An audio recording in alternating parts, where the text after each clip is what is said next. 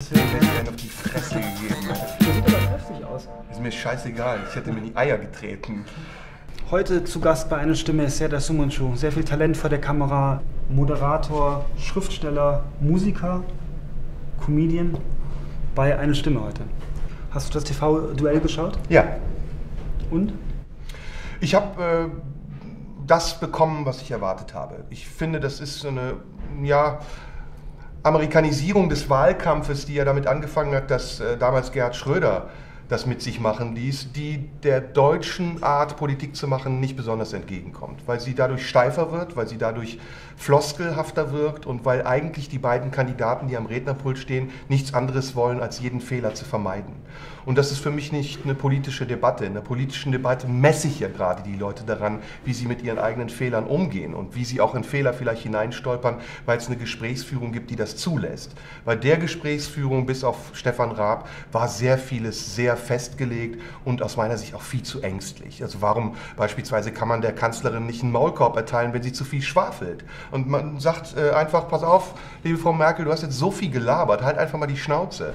Es kann ja sein, dass es Themen gibt, von denen du dir wünschst, dass sie auftauchen, weil es gibt sozusagen immer ein Bouquet von Themen und man hat immer das Gefühl, manche sind dabei, die wichtig sind, aber es ist nicht unbedingt alles, was einen interessiert, was in der Debatte gerade auftaucht, oder? Also ich vermisse da ein paar Sachen zum Beispiel. Ja, das läuft immer zwangsläufig darauf hinaus, dass man zum, zum Lobbyisten wird und für seine eigenen Bedürfnisse nur eintritt. Politik ist aber eine gesellschaftliche Sache, in der es vor allem auch darum geht, dass man für die Bedürfnisse der anderen eintritt.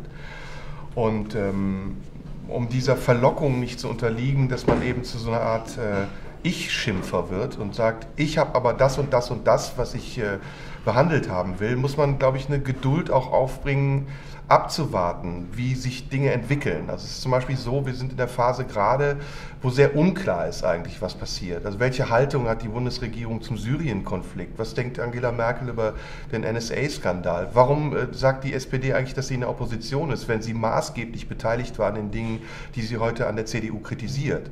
Und da neige ich dazu, so ein bisschen äh, zu warten, beziehungsweise einen Schritt zurückzugehen, um von oben einen anderen Blick auf die Sachen zu bekommen. Natürlich gibt es Dinge, die mich als Kunstschaffenden besonders interessieren. Die Frage zum Beispiel, warum so viel Steuergelder verschwendet werden für Projekte, die nie stattfinden, aber auf der anderen Seite Künstler, die wirklich jeden Pfennig brauchen, kämpfen müssen, nicht nur um Anerkennung, nicht nur um, um Reputation gesellschaftliche, sondern auch um Existenz. Du hast gerade das zweite Album, glaube ich, gemacht. Ähm, hast ja auch viel so in diesem ganzen Rap-Umfeld zu tun. Äh, würdest du dir so eine Zuspitzung wünschen? Also sollte so ein TV-Duell mehr wie Battle-Rap sein? Ich fände es eigentlich ganz cool, ehrlich gesagt, wenn auch die Rapper sich um Wahlkämpfe kümmern würden. Und wenn sie nicht nur parteipolitisch Stellung beziehen, sondern wenn sie sich auch gesellschaftspolitisch etwas transparenter machen würden. Heutzutage bleibt eigentlich die Attitüde der Rapper bei ihrem Underground-Bewusstsein hängen und bei diesen ganzen Texten von ich komme aus dem Dreck und ich habe es geschafft, jetzt habe ich einen Riesenschwanz und eine Pumpgun in der Hand und schieße dich über den Haufen. Aber eigentlich wäre Rap die Idealvorlage, um auch Politik zu machen, so wie es ja auch wirklich in der Vorlage äh, im Ursprung des Raps in den USA war, wo sie gesagt haben, das ist unsere Form von Widerstand, das ist unsere Bewegung, die wir dem entgegensetzen, was in Amerika Intoleranz ist. Glaubst du, dass wir zu viel in Deutschland über Herkunft reden oder zu wenig?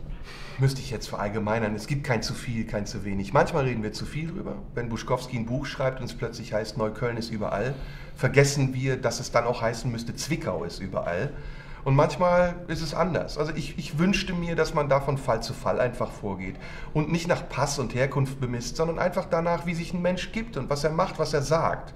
Wenn er Teil dieser Gesellschaft ist, wenn er unsere Sprache spricht und vielleicht auch nur bruchstückhaft unsere Sprache spricht, dann hat er die Einladung verdient, Teil dieser Gesellschaft zu sein. Wenn er es selber nicht will, dann würde ich ihn auch nicht dazu zwingen. Was, was hast du gedacht, als du zum ersten Mal die Bilder aus Hellersdorf gesehen hast? Weißt du, mich überrascht das gar nicht. Ich finde es immer viel überraschender, dass die deutsche Öffentlichkeit denkt, das wäre neu. Ich habe das jahrelang jeden Tag gesehen. Ich bin mhm. durch Deutschland gereist, durch Österreich, die Schweiz, Italien, also nicht nur in Deutschland. Und ich habe jede Form von Intoleranz gesehen, die du dir vorstellen kannst. Und zwar öffentlich und unverhohlen. Mit einem Selbstbewusstsein, wo du gedacht hast, alle Achtung, wenn das mal der Rest Deutschlands wüsste, wer weiß, was dann passieren müsste so sehr manchmal es auch wichtig ist, eine Distanz zu Geschehen zu bewahren, wie ich es am Anfang gesagt habe, so sehr kann es auch manchmal wichtig sein, sehr schnell und sehr dringlich einzugreifen, wenn Unrecht passiert. Und das, was da passiert, ist Unrecht. Niemand hat das Recht, anderen zu verwehren, hier zu leben. Äh, schon gar nicht, wenn sie geflüchtet sind vor Kriegen, die wir mitinitiiert haben. Wer sind wir denn? Wir bombardieren irgendwelche Länder, weil wir billiges Öl haben wollen. Und wenn die Leute keinen Bock mehr haben, in der Ruine zu leben und hier hinkommen wollen, sagen wir, haut ab. Das können wir uns nicht leisten. Willst du wählen gehen? Ja, natürlich. Ich weiß, wie es ist, nicht wählen zu dürfen. Und deswegen ist das für mich ein Recht, das ich lange Jahre einfordern musste. Und ich bin mir dessen sehr bewusst, dass es ein hoher Wert ist, einer einer äh, demokratischen Gesellschaft, dass man einmal in vier Jahren und sei es auch in dem Glauben, damit nichts bewirken zu können, seine Stimme abgibt, abgeben zu können, zu dürfen. Mhm. Denn das ist nicht jedem erlaubt. Wieso war das so? Wegen, wegen der Staatsbürgerschaft oder was? Wieso konntest du nicht wählen? Ich konnte sowohl in der Türkei als auch in Deutschland nicht wählen. Ich war sogar zeitweilig äh, deutscher und türkischer Staatsbürger. Mhm aber paradoxerweise hat erst äh, Tayyip Erdogan eingeführt, dass die in Deutschland lebenden Türken in der Türkei wählen können. Mhm. Dadurch, dass sie nämlich ins Konsulat fahren und dort sozusagen per Briefwahl ihre Stimme abgeben. Ähm, und in Deutschland war es genauso. Ich war als Türke, als hier langjährig lebender äh, ausländischer Mitbürger nicht dazu in der Lage, eine Stimme abzugeben. Ich durfte in Ausländerbeiräten irgendwelche Entscheidungen treffen über Moscheen oder nicht, aber eine Stimme abgeben und wählen, wen ich als Kanzler haben will, durfte ich lange Jahre nicht. Danke für das Gespräch. Das war sehr interessant. Danke auch.